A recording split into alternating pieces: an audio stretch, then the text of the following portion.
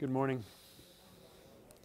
My name is Elliot Scott. I'm uh, the lead pastor here at Lifepath Church, but more significantly, I'm Bob's favorite son.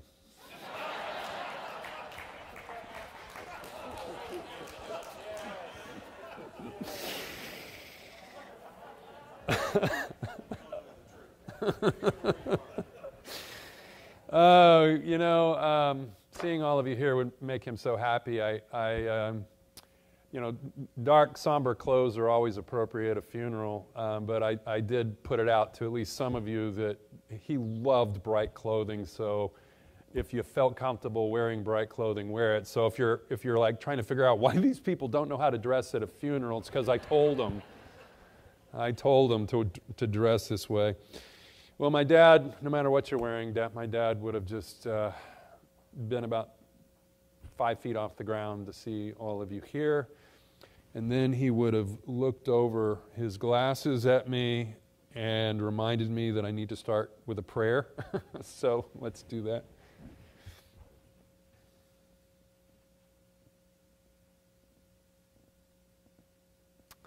Heavenly Father,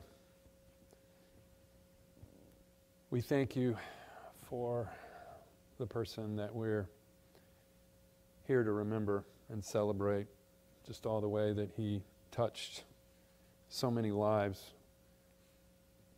And we ask that you be with us, that your spirit bring comfort, encouragement, and that you remind us of the hope that we have. That my dad was a, a person of very deep faith. That he belonged to you and you belonged to him. And because of that, we know that he's not lost. We know that he's with you. And we know that we'll see him again. So, as the scriptures say, we grieve, we hurt, but we do not grieve as those who have no hope. And so, Lord, as we celebrate and we worship and we remember today, we just pray that you would keep that hope first and foremost in our hearts. We pray this in Jesus' name. Amen. Um, my dad and my mom picked out three songs for us to sing. Most of them are pretty familiar songs.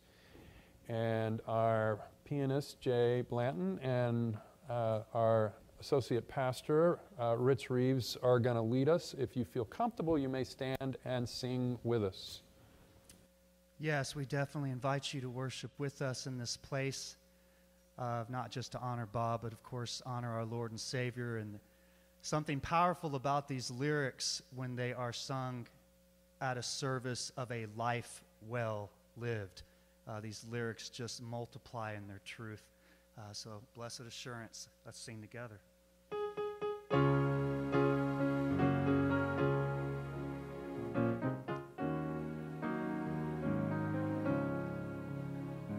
Blessed assurance, Jesus is mine. Oh, what a foretaste of glory divine, heir of salvation, purchase of God born of his spirit, washed in his blood. This is my story, this is my song, praising my Savior all the day long. This is my story, this is my song, praising my Savior all the day long perfect submission, perfect delight.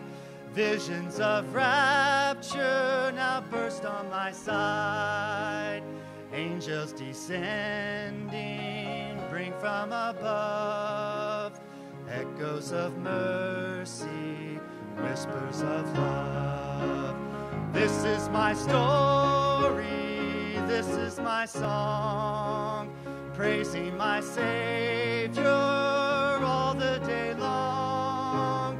This is my story, this is my song praising my Savior all the day long. Perfect submission, all is at rest.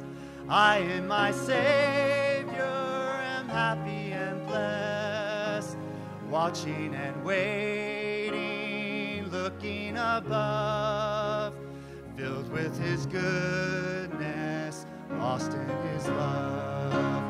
This is my story, this is my song, praising my Savior all the day long. This is my story, this is my song, praising my Savior all the day long. Praising my Savior all the day long.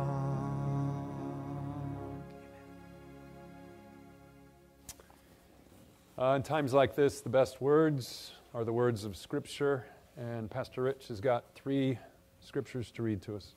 Psalm 23. The Lord is my shepherd. I have all that I need. He lets me rest in green meadows. He leads me beside peaceful streams. He renews my strength. He guides me along right paths, bringing honor to his name. And even when I walk through the darkest valley, I will not be afraid. For you are close beside me, your rod and your staff protect and comfort me. You prepare a feast for me in the presence of my enemies, and you honor me by anointing my head with oil. My cup overflows with blessings. Surely your goodness and your unfailing love will pursue me all the days of my life, and I will live in the house of the Lord forever. Amen. This is John chapter 11. When Jesus arrived at Bethany, he was told that Lazarus had already been in his grave for four days. Bethany was only a few miles down the road from Jerusalem, and many of the people had come to console Martha and Mary in their loss. And when Martha got word that Jesus was coming, she went to meet him. But Mary stayed in the house. And Martha said to Jesus, Lord, if only you had been here, my brother would not have died. But even now, I know that God will give you whatever you ask. And Jesus told her, Your brother will rise again. Yes, Martha said, He will rise when everyone else rises at the last day. Jesus told her, I, I am the resurrection and the life. Anyone who believes in me will live even after dying. And everyone who lives in me and believes in me will never, ever die. Do you believe this, Martha? Yes, Lord. She told him, I have always believed you are the Messiah, the Son of God, the one who has come into the world from God. In John chapter 14. Don't let your hearts be troubled. Trust in God and trust also in me. There is more than enough room in my Father's home. If this were not so, would I have told you that I'm going to prepare a place for you? When everything is ready, I will come and get you, so that you will always be with me where I am. And you know the way to where I am going. No, we don't know, Lord, Thomas said. We have no idea where you're going. So how can we know the way? Jesus told him, I am the way, the truth, and the life. No one can come to the Father except through me.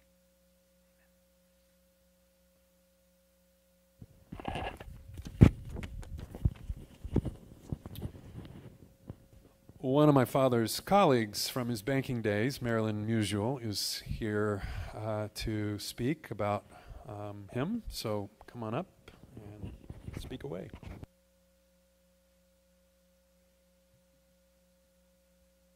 I worked with Bob Scott. I was honored and humbled to have spent 53 years working by his side or working from afar. He was always there in, in our banks and communities' mind in the Clear Lake area.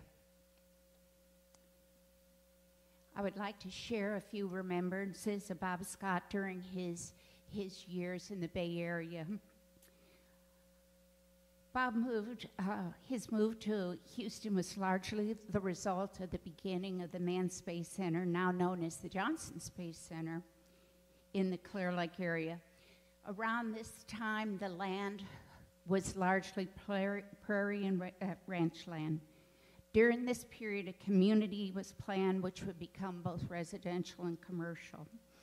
In 1964, Bob and Elizabeth moved to the Clear Lake area, and Bob became the senior manager and commercial lender at Nassau Bay National Bank. When Nassau Bay National Bank was one of the few banks that was in the area at that time. He quickly rose to become the president of our bank.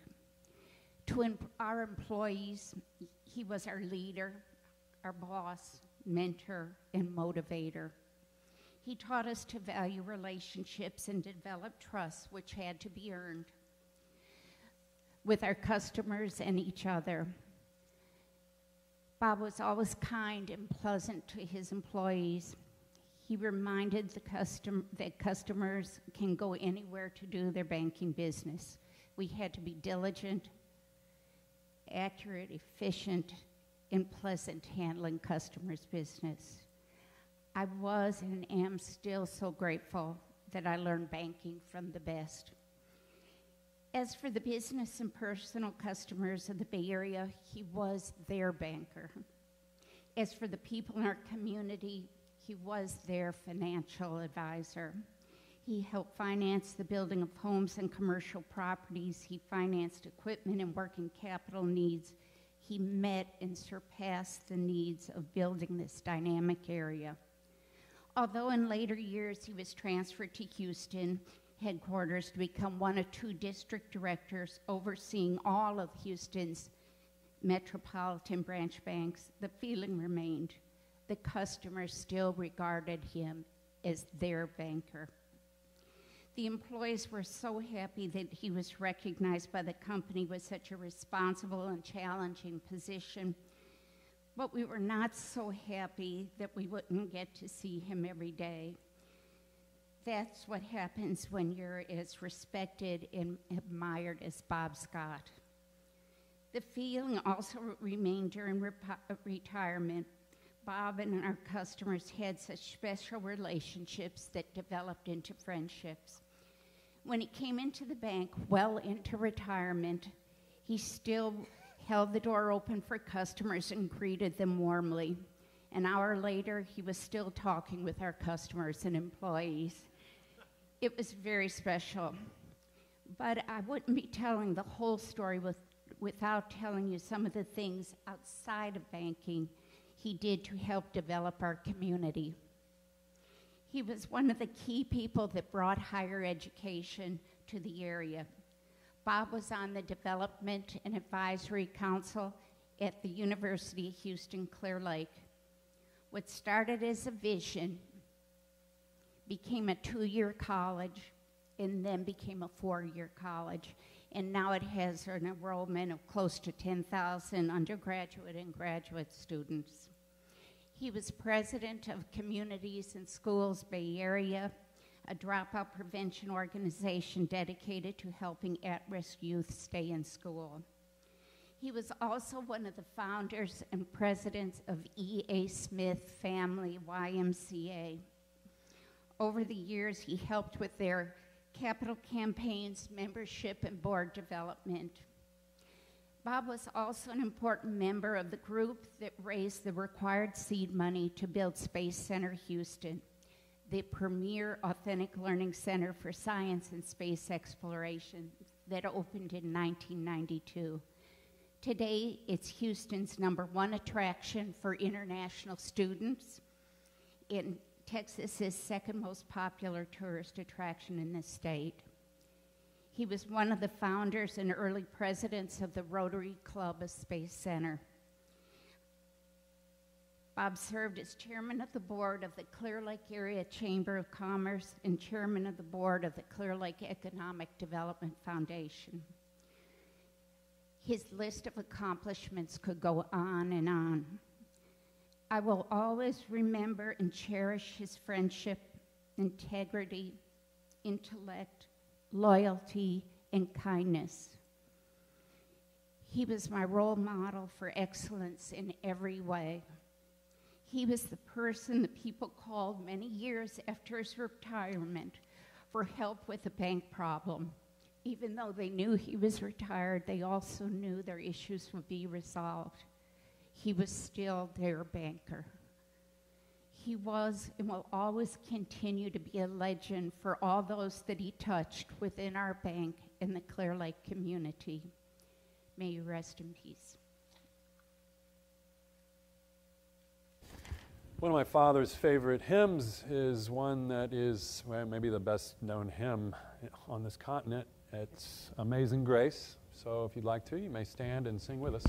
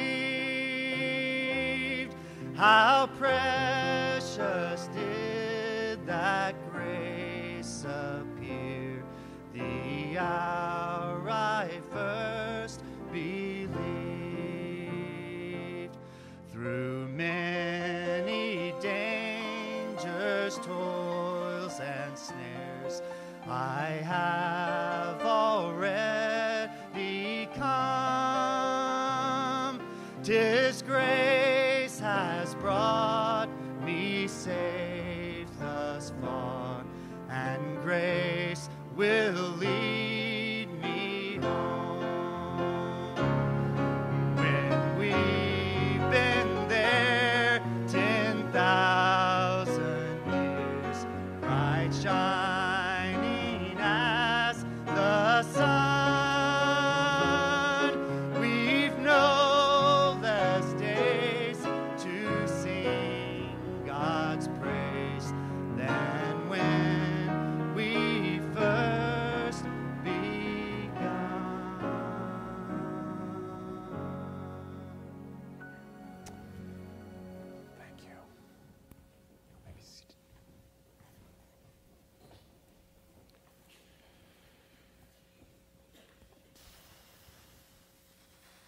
coffee.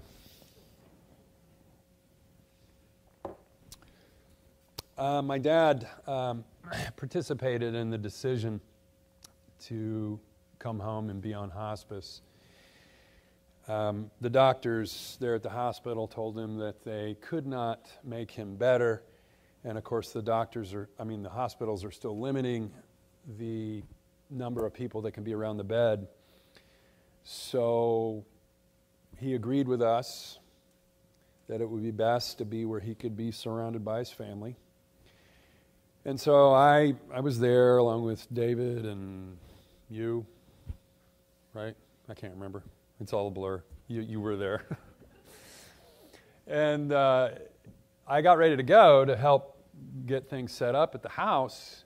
And as I got ready to leave, he said, I want a prayer. I said, okay. And I started to pray, and he said, no. he said, I want to pray. I said, okay. And what came out of his mouth next were these words, all from memory Trust in the Lord with all your heart and lean not on your own understanding. In all your ways submit to him, and he will make your path straight. Do not be wise in your own eyes. Fear the Lord and shun evil. This will bring health to your body and nourishment to your bones. All from memory. And then he prayed. And it was sort of half prayer, half sermon. And he had a lot to say. and my brother David was kneeling next to the bed, and my, my dad had this sort of vice grip on his hand. And after about 10 minutes of praying, I looked over at David and threw him a pillow to put under his knees on that hard linoleum floor. Uh, my dad had a lot to say. And what came out of his mouth was really the foundation of his life for how he lived and what he wanted for his family and his friends and his church. Uh, and y'all are all here, either directly or indirectly, because he lived out what he believed in. My, my dad had this, this rare capacity for friendship.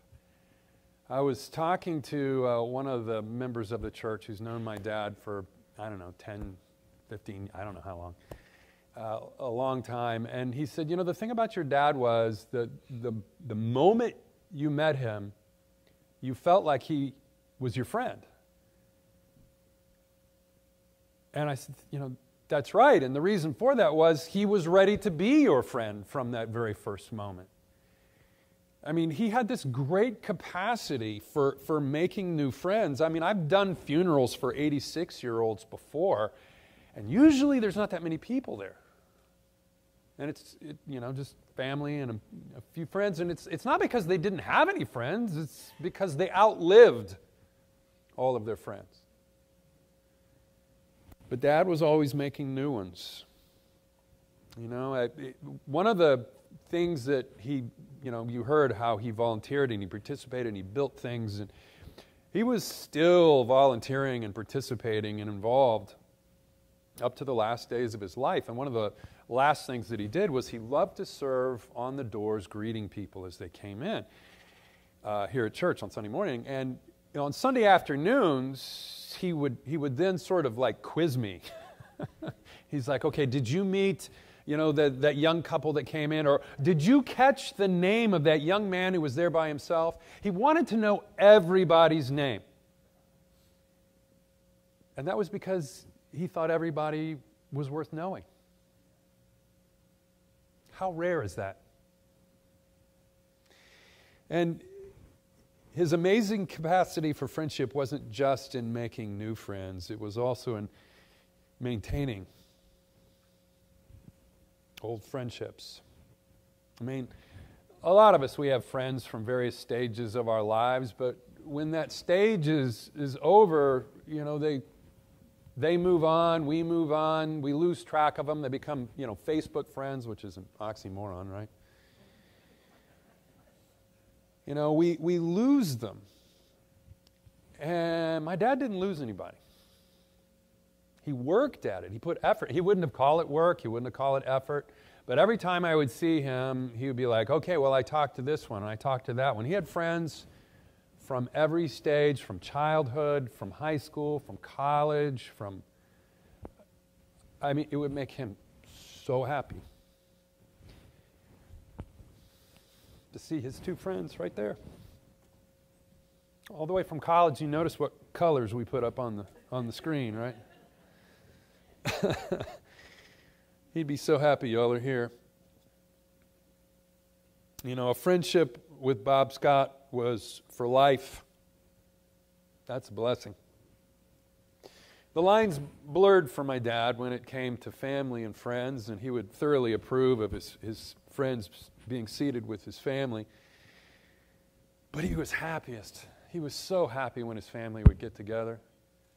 I mean, he would literally start singing some little silly song. He would start dancing just because his children and his grandchildren were in the same room with him. Uh, you know, I, as his son, I mean, what can a son say? You know, I, I read a quote years ago, and it always reminded me of my dad, and I looked for it and I couldn't find it. Maybe, I don't know if you've heard it or not, maybe somebody can tell me where it comes from. It goes something like this It's the hardest blessing for a man to get is the blessing of his own sons.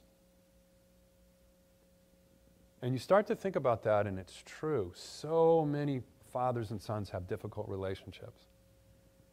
There's so many people out there that just kind of walk around with this wound. And in fact, I've, I've read that, that a lot of society's biggest problems are caused by the fact that most people don't have a loving father in the home anymore. You know, crime rates go up, poverty rates go up, graduation rates go down when there's not a loving dad around. I, I, I've even heard that there's a correlation between atheism and a difficult relationship with your dad. And I don't know if that one's true. The atheists in the group will have to let me know if that one's right. But, you know, my brothers and I, we don't, we don't have that wound. I mean, dad was not perfect. Dad was not the most patient of people. And he could never understand why you wanted to do it differently than he would do it. And John and I never got the hang of doing what David did, which just tell him what he wanted to hear and then go do what you want. And John and I would always be like, Dad, you know, I'm not going to do it that way. And then it would turn into this, you know, quarrel. So there were quarrels. But you know what? In this world that doesn't keep its commitments, my dad kept his. Integrity is living out the values that you have. You know, your beliefs are integrated into how you live. And my dad had integrity. He was faithful. He provided the solid stability that three slightly impaired young men needed. And day in and day out, he was just there for us. And he loved us so much. He loved each one of his grandchildren, he loved each one of us. And so I'll go out on a limb and speak for my two brothers and say, Dad, you've earned the most difficult of blessings. Your sons bless you. Because you were, are, and always will be a blessing to us. You are our hero.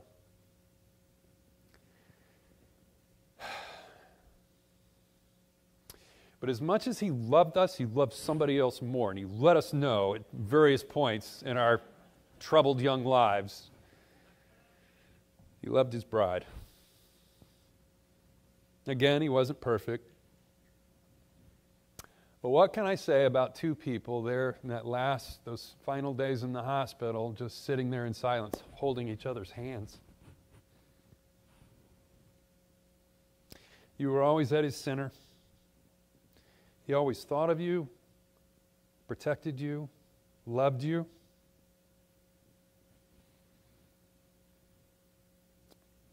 Been a while since you got his attention by marching up and down in your driveway, twirling your baton.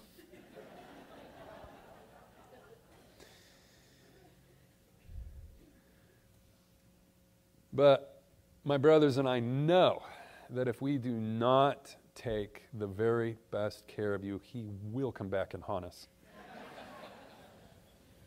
I think that's all I'm going to say about that. I feel like I'm treading on holy ground a little bit. Speaking of holy ground, we must come full circle to my father's last prayer and sermon to us all. Trust in the Lord with all your heart. Lean not on your own understanding. In all your ways, submit to him, and he will make your path straight. You know, my father was a man of faith. He believed that trusting in God and obeying him would make his path straight. And that bled into everything that he did. I mean, he believed in friendship because he felt like God, in the person of Jesus Christ, had befriended him.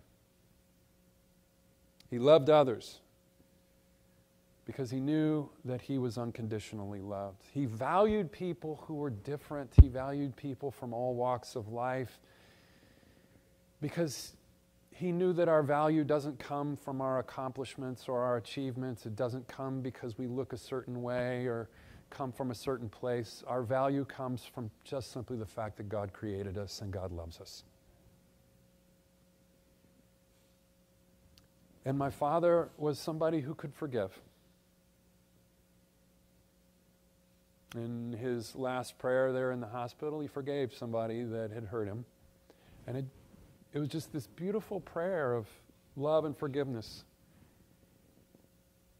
And he was able to do that because he knew that he was imperfect and he knew that his Savior had died for him so that he could be forgiven. My father knew that the modern view of faith, which says that it's like a private hobby that you should keep to yourself and do alone, is, is not true.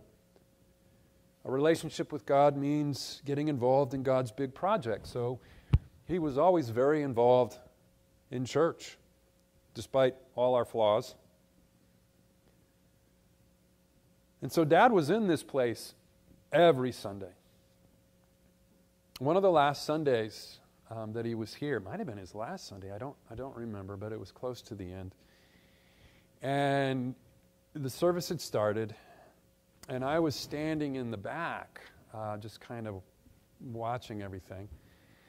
And he came in uh, from his door greeting duties, and as the, the, the musicians were playing and the congregation was singing the opening song, and he came in, and he was not only singing as he came in, he was dancing.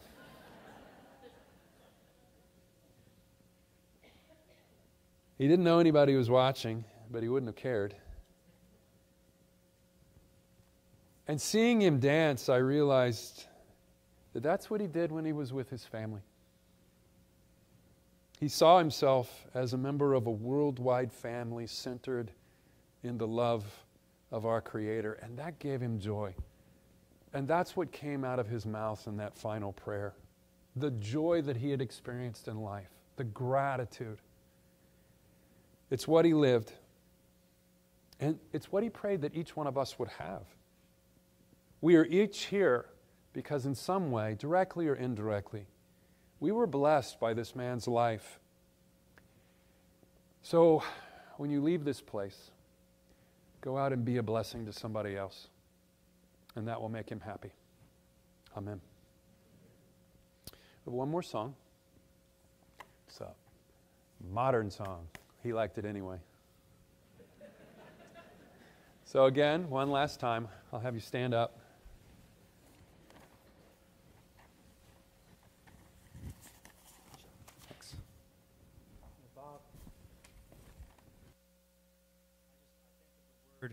Congruent. Bob was just Bob, and his faith was anywhere he found himself. And, you know, our mission here at Lifepath Church is to love our neighbor you know, most of our missions goes to the community. And, you know, Bob was very much that first face that people would see when they entered the building. And I loved what you said about how he loves all kinds of people. He's, he's excited to meet someone different and to just uh, to love his neighbor.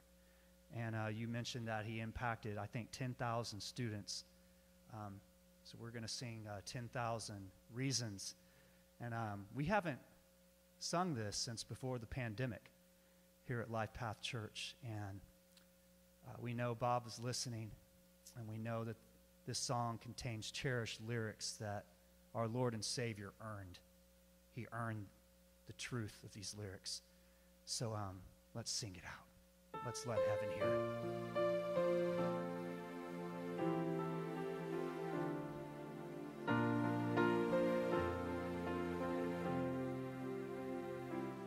Bless the Lord, O oh my soul, O oh my soul, I worship his holy name.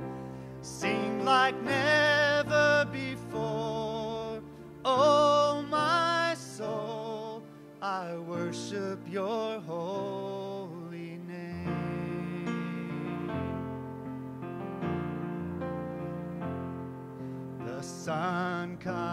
up, it's a new day dawning. It's time to sing your song again. Whatever may pass and whatever lies before me. Let me be singing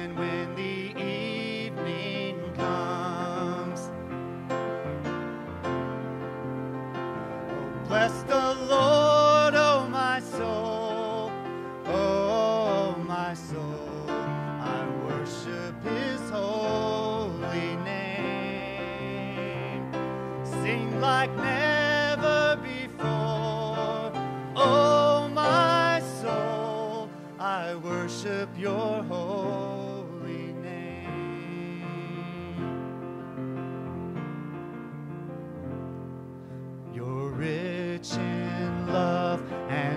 slow to anger. Your name is great and your heart is kind. For all your goodness, I will keep on singing. Ten thousand reasons for my heart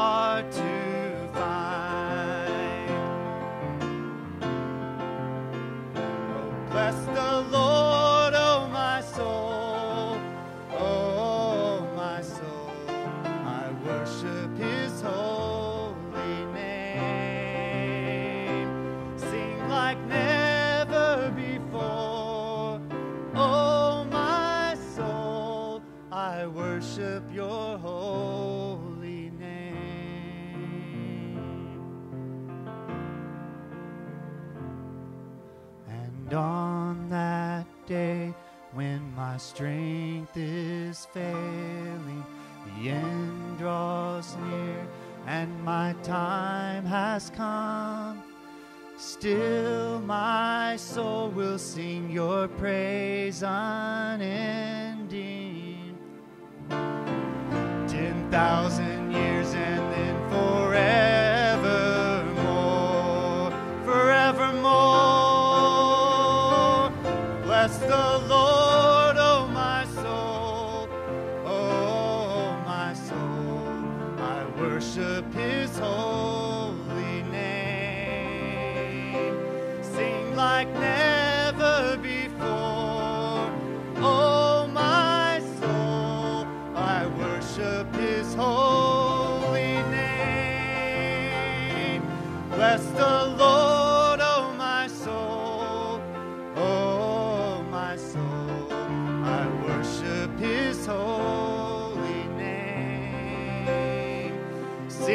like never before, oh my soul. I worship Your holy name. Oh, I worship Your holy name.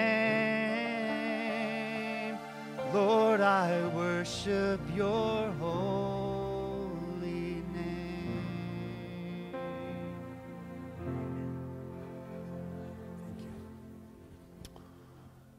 Family has a surprise for you because what's a funeral without a surprise, right? So be seated for just another minute because the service is really just about over. But you've heard the stories of my father dancing and singing, and we thought that we would show you a little bit. And this is just two years ago. You got it ready, Lenithia, back there?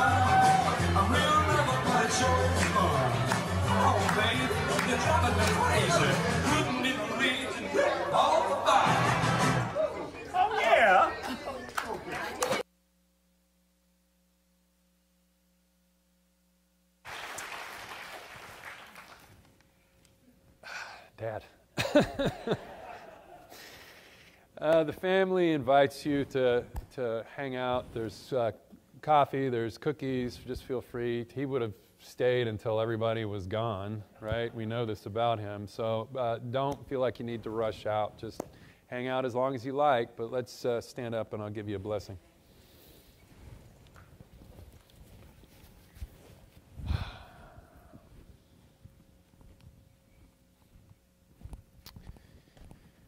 May the grace of our Lord Jesus Christ, the love of God, and the fellowship of God's Holy Spirit be with each and every one of you, now and forever. Amen. Go in peace.